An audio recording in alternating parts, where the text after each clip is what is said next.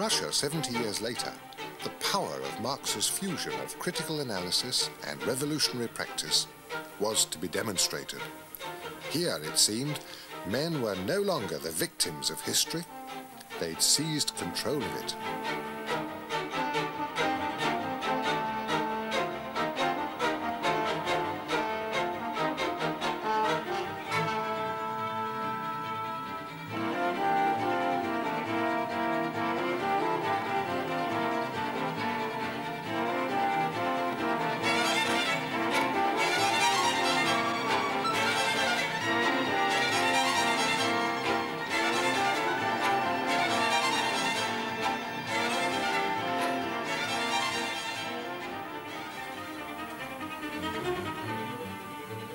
From Marx's historicist point of view, old-style religion disappears.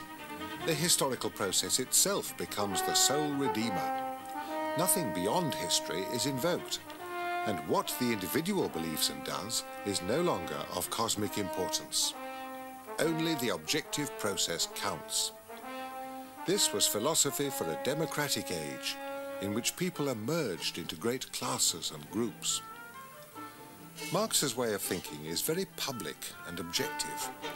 He rejects the view of life that starts from the individual person, and he rejects the traditional religious concerns. Agonizings about individual life and freedom and death mean nothing to him.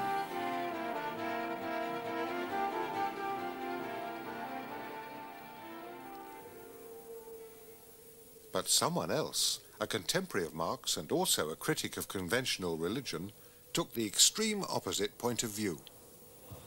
Any reformation which is not aware that fundamentally every single individual needs to be reformed is an illusion.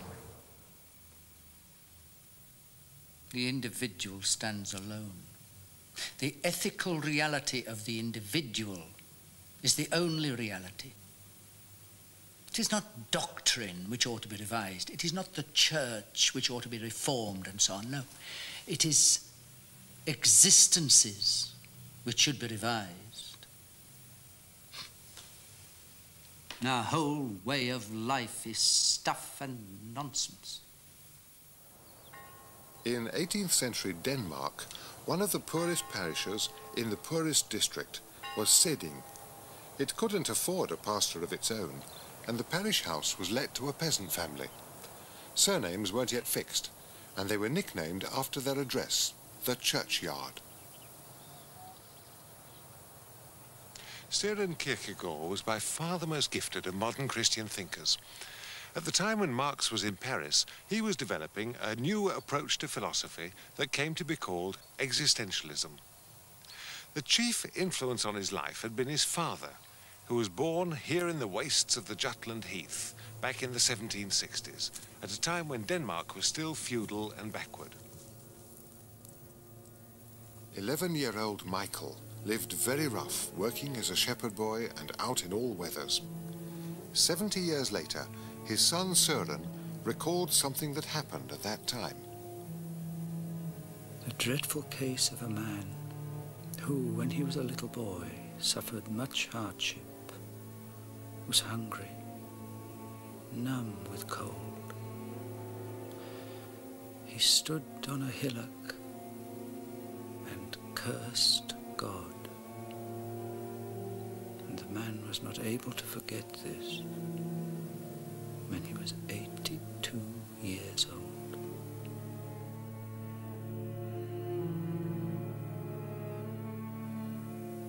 The young Michael Kierkegaard escaped from peasant life to become eventually a businessman in Copenhagen.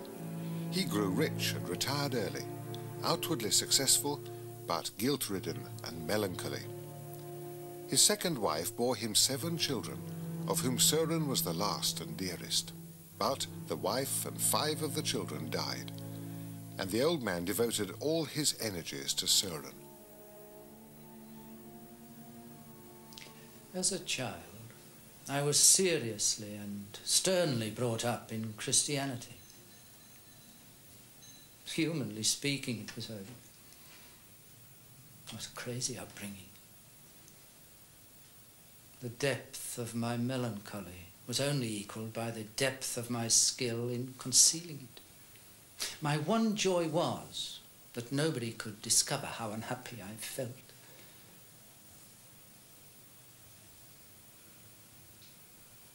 I've never had any immediacy.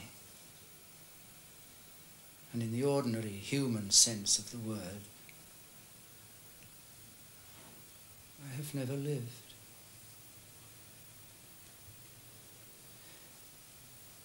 I did not gradually learn reflection. I am reflection from first to last.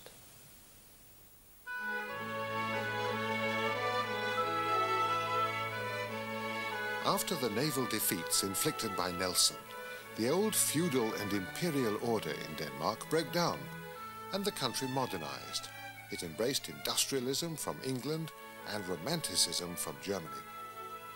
At this time, Kierkegaard, still a student in Copenhagen, fell in love with Regina Olsen, then still a very young girl. But he saw erotic love, and therefore his own wooing of Regina, in romantic and theatrical terms, as a doomed, insatiable yearning after an unattainable ideal.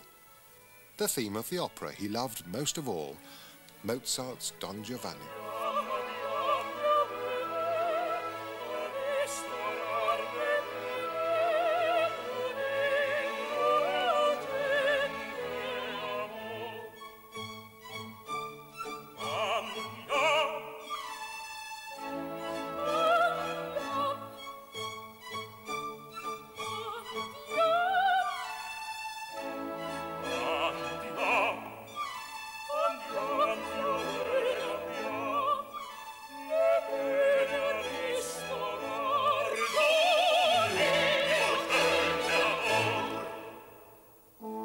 Erotic passion can be dangerous. Don Giovanni is punished for his excesses by being dragged off to hell. But the theatre is a place of paradoxes and transformations. With the death of his father and his love for Regina, Kierkegaard's view of his own life is about to undergo a dramatic change. Wednesday, April the 19th. My reserve and self-isolation are broken. I must speak. God give me grace. My whole being is changed. God's love overwhelms me. What he has done for me is indescribable. My father's death really pulled me up. I dared not believe that the fundamental misfortune of my being could be resolved. But now a hope has awakened in my soul that God may desire to resolve the misery of my being. Now I'm in faith in the profoundest sense.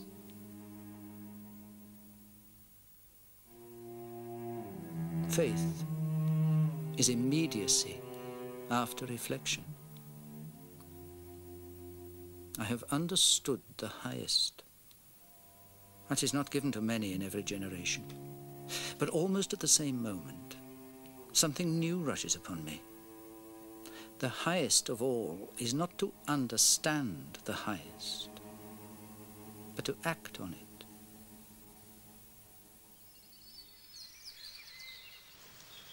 Kierkegaard loved to walk here in the Grib forest, and finding your way through a forest is an old image for finding your path through life. When you come to a parting of the ways, you pause, reflect, and then strike out along your chosen path. Commitment brings you back into the forward movement of life. Faith is immediacy again after reflection. The trouble was that Kierkegaard himself hadn't yet found his own path in life. At the age of 27, he still had no career. His conversion basically reduced the options to two. One path led to marriage to Regina, a country parsonage, and an honourable but modest happiness. Half his soul longed for just that. Alternatively, perhaps he was required to develop the other side of himself, his strange personality and special gifts, in which case he should remain an outsider and become a writer. an artist, a poet of the spiritual life. The meaning of Kierkegaard's whole life hung on the decision, and he now saw that choice is everything. Perhaps you can understand life backwards, but it has to be lived forwards. So, as Marx was to do later, Kierkegaard set out to reverse the traditional relationship of knowledge and action in Western thought. Reality is a process of becoming, action comes first. But whereas Marx had seen us as cooperating with historical forces, for Kierkegaard, the leading edge of reality itself is nothing but our own personal decisions. The choices we make settle what we become and what kind of world we're going to find ourselves in. So Kierkegaard's new philosophy of existentialism is a philosophy of action and the will. Life's chief task is to become an individual. But Kierkegaard lived in the first age of mass communications, the electric telegraph, the railway, the daily press. And he could see a time coming when most people would be spectators of life rather than actors. The many, the public, would drift and dream and watch the few. But Kierkegaard says no. You can only become an individual by action and decision. Faced with his own need to decide between Regina and that country parsonage, or the difficult life of an exception, an oddity, a writer, Kierkegaard sees that religious belief is not a matter of accepting reassuring information about how things are up there. It's a challenge to commit yourself to a way of life. Faith is an act of pure freedom by which we choose ourselves, choose our path in life.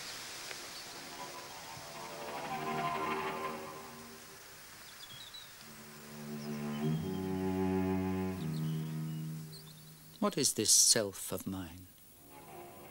It is the most abstract of all things. And yet, at the same time, it's the most concrete. It's freedom. The consciousness of being an individual, which is fundamental in man, is his consciousness of eternity.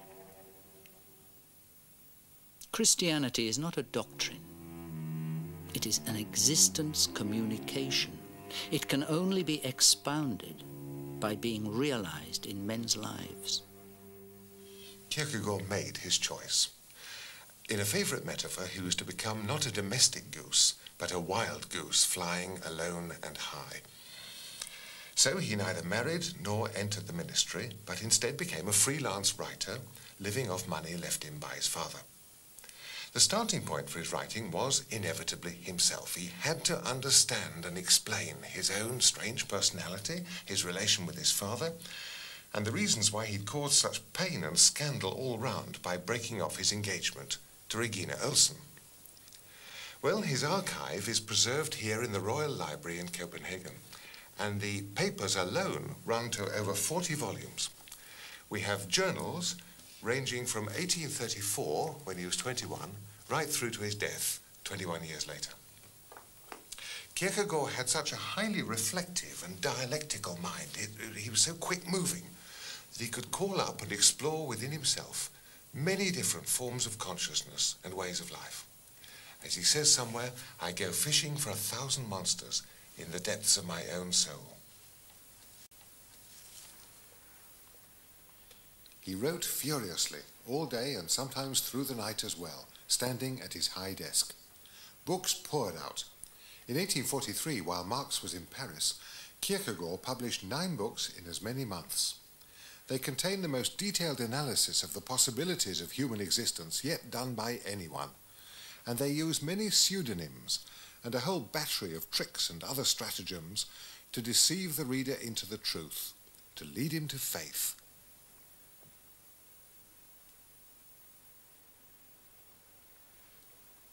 Kierkegaard doesn't approach religious belief in the old doctrinal kind of way. The reason is that he is all the time working from the human end. He's concerned with the subjective rather than the objective side of religion, or as he sometimes says, with the how rather than with the what. He works within the human sphere. He explores different possibilities of human life with the object eventually of showing that Christianity is the spiritual discipline that leads us to true selfhood that tunes up our individuality to the highest pitch. And because he works entirely within the human sphere, the realm of our experience, Kierkegaard is also a sort of humanist. But he's quite unlike Marx because he puts no trust at all in progress or in history or in any human group.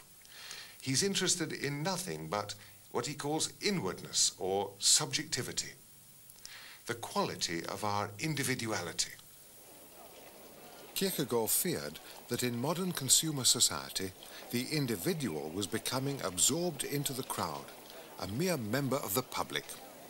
The spiritual life of the individual was being stifled by communal political and religious illusions.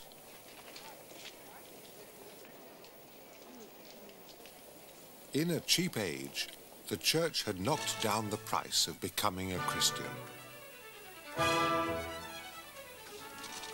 Oh, Christendom is pampered with the nonsense that the Christian God is a decent and harmless chap, a good fellow, and especially a friend of female busyness and the begetting of children.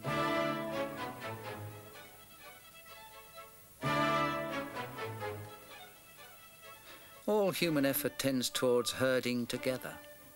Let us unite, etc. Naturally, this happens under all sorts of high-sounding names. Love and sympathy and enthusiasm and the carrying out of some grand plan and the like. This is the usual hypocrisy of the scoundrels we are.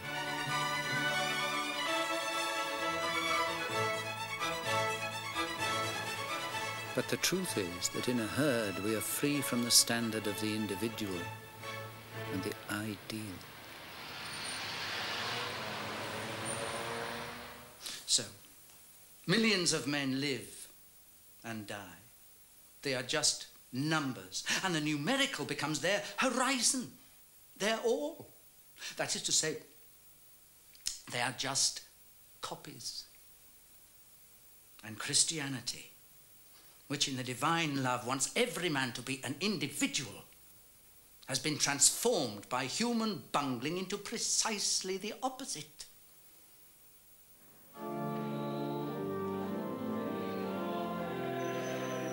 The New Testament consists of the demand to dare as a single person to have to do with God. We men reply, let us unite to worship God. The more we are, the happier, the truer, the more we shall please God. Christendom's guilt is really that it makes a fool of God, considers that he is a fool, lets him sit and wait in heaven, and so plays at Christianity on the common, or in theatres built for the purpose, called houses of God. Much the same is true of the modern parson. He's a skilful, active, quick man who finds it perfectly easy, with the aid of attractive conversation and bearing, to slip in a little Christianity almost without you noticing. What an abomination are these Protestant pastors, who at most read what has cost others mortal struggles, and then use it as purple passages in their sermons. My task is so new that in Christianity's 1800 years there is literally not one from whom I can learn how it should be done. For all extraordinary men who have hitherto lived have aimed at spreading Christianity. My task is to put a halt to a lying diffusion of Christianity, to, to help it to shake off a mass of nominal Christians. The worst danger for Christianity is not heresies, heterodoxies, not free thinkers nor profane worldliness and so on. No. It is the kind of orthodoxy which is hearty twaddle, mediocrity with a dash of sugar. In every way, it has come to this that what one now calls Christianity is precisely what Christ came to abolish. During the year 1846, Kierkegaard was regularly ridiculed in a satirical journal called The Corsair. Its caricatures singled out his spindly legs, his odd trousers, and his stick or umbrella.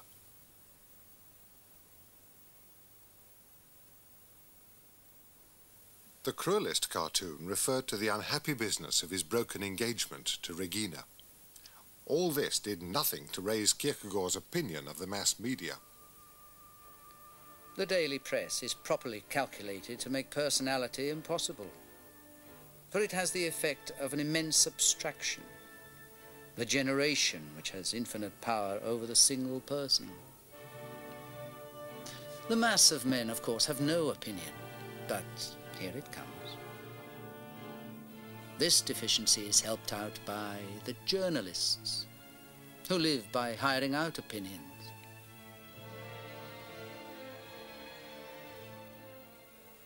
If I were a father and had a daughter who was seduced, I should by no means give her up. But if I had a son who became a journalist, I should regard him as lost. The cruelty of the caricatures and the public mockery to which they led forced Kierkegaard into deeper isolation. But the fact that the world saw him as a clownish figure only increased his determination to counterattack. To the public, his writings, with their huge cast of characters, seemed a kind of theatre, just as the church seemed to be concerned with Christianity.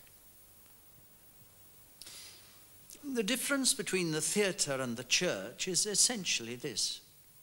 The theatre, honestly and honourably, acknowledges itself to be what it is. On the other hand, the church is a theatre which dishonestly tries in every way to hide what it is. For example, on the theatre board is always plainly written, money will not be returned.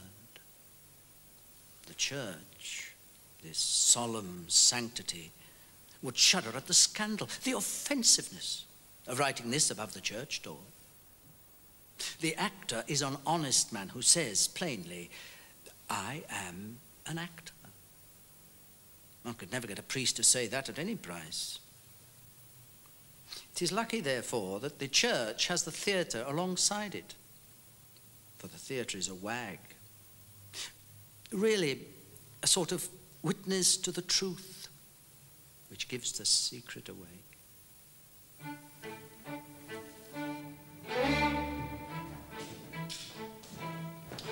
Preaching the gospel, parson and convert. You must die to the world, fee one guinea.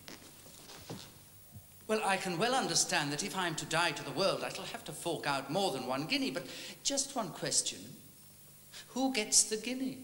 Well, naturally, I get it. It's my living. For I and my family have to live by preaching that one must die to the world. If you are reasonable, you will see that to preach that one must die to the world, if it is done seriously and with zeal, takes a lot out of a man. So I really have to spend the summer in the country with my family to get some recreation.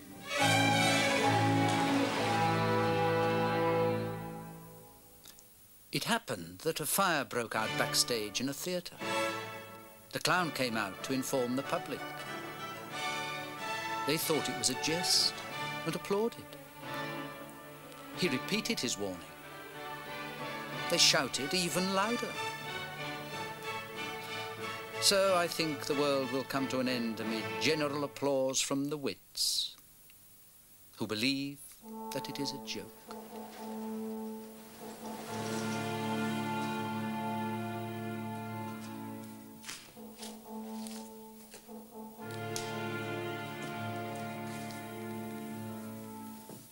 By 1855, at the age of 42, Kierkegaard was worn out, and the money he'd inherited from his father was gone.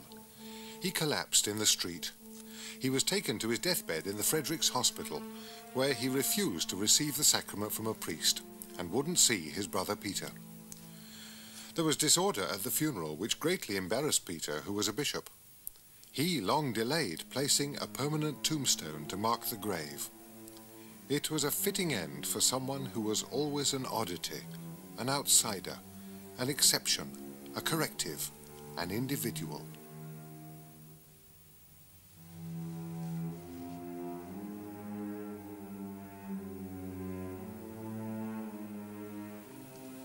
Why did Kierkegaard end his life with such a savage assault on Christendom?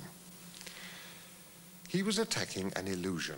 The established church was supporting the rapid modernization of Danish society in the belief that the new liberal state would be a continuation of Christendom by other means.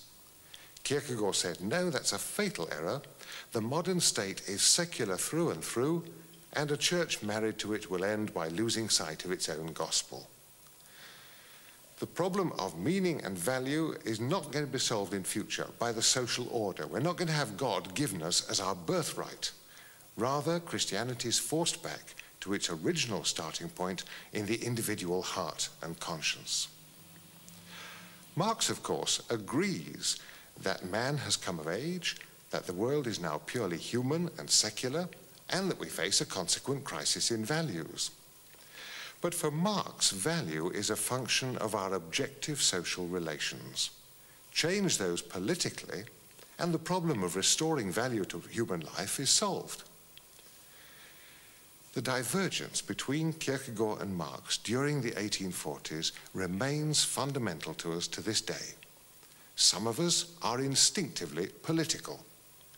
To others, it's equally obvious that the problem of finding a philosophy of life and a faith to live by today is in the end a religious problem that can only be solved within the individual human spirit.